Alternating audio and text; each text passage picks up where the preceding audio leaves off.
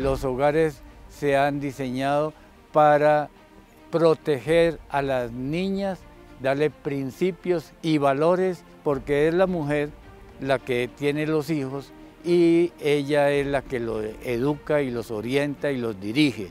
Entonces, si nosotros eh, protegemos eh, a la mujer, estamos protegiendo los futuros hogares que, hay, eh, que van a ser en Colombia.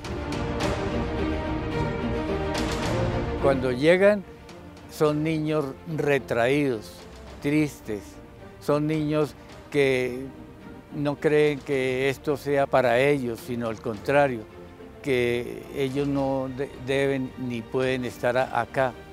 Y entonces a través del tiempo el niño va adquiriendo ese conocimiento de que esto es y nosotros somos para trabajar por ellos, para poderlos proteger y para que ellos sean testimonio cuando se vayan de este, de este hogar.